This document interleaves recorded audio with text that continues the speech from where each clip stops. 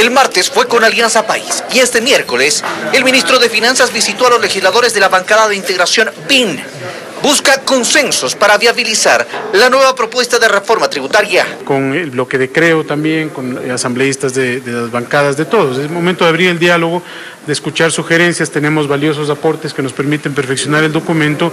Con los legisladores de Suma la reunión fue más temprano. Que inclusive se pueda votar por temas este proyecto de ley urgente. Eso es positivo, esa apertura apoya muchísimo. Y el presidente de la Comisión de Régimen Económico adelanta algunos de los temas ratificados respecto del proyecto anterior que fue archivado. Básicamente el incremento de los plazos que se le otorgan a los jóvenes que tienen eh, hoy deudas con el sistema bancario por sus créditos educativos, a su vez también eh, lo relacionado eh, a la progresividad del impuesto a, las fundas plásticas. La regularización a través del cobro del IVA que hoy no pagan los servicios digitales, es decir, estamos formalizando las plataformas digitales y creo que eso es positivo porque es una tendencia mundial.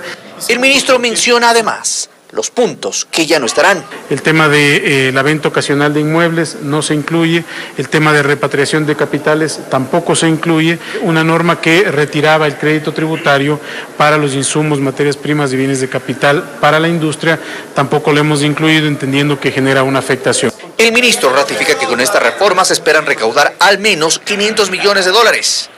El proyecto aún se pule y llegaría en las próximas horas a la Asamblea para su trámite en 30 días, al ser económico urgente.